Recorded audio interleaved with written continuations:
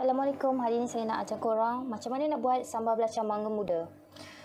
Bahan-bahan dia tak perlu nak letak garam, tak perlu nak letak ajinomoto ataupun tak perlu nak letak perasa apa-apa sebab sebab belacan dia dah cukup melengkapkan rasa.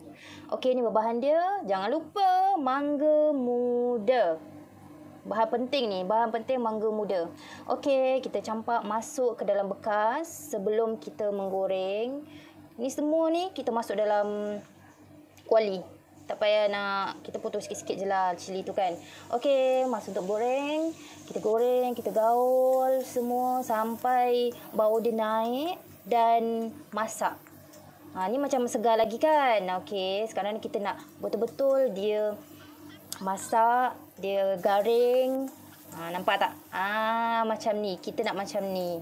Kalau nak layu, nak lagi pun boleh juga. Tapi tu pulang pada korang. Okey, sekarang ni kita tumbuklah pakai lesung jangan pakai blend sebab kita nak rasa um dia tu kita tak nak kita tak nak rasa um dia tu hilang kalau kita boleh pakai traditional lesung ni pun lagi sedap kan pakai lesung kita pastikan tumbuk halus-halus janganlah macam ni macam ni macam kata orang apa boleh boleh tampal kat baju ha tumbuk lagi sampai dia halus betul-betul halus Masukkan mangga. Tumbuk mangga sekali tau. Jangan tak tumbuk. Tumbuk mangga sekali. Sebab kita nak uh, nama pun sambal uh, sambal belacan mangga kan. Okay, kalau tak cukup, kena rasa. Kalau tak cukup masam, kena tambah mangga lagi lah. Ni saya guna sebiji mangga kecil tu saja.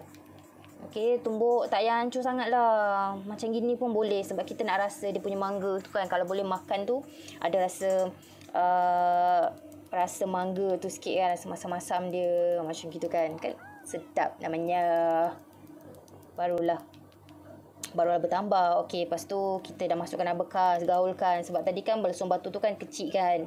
Jadi uh, kena tunggu banyak kali apa semua. Jadi gaulkan bahan-bahan tu semua. Lepas tu masuk dalam bekas. Dah siap masuk dalam bekas untuk kita get ready makan. Al bismillah baca bismillah dululah. Bismillah, sedapnya. Sebenarnya kalau makan sambal belacan dengan tauge tu je pun dah sedap. Rasa keunikan rasa dia tu kita nak itu dia. Ha, sebab sardin dah rasa lain kan. Okey, selamat mencuba, selamat makan.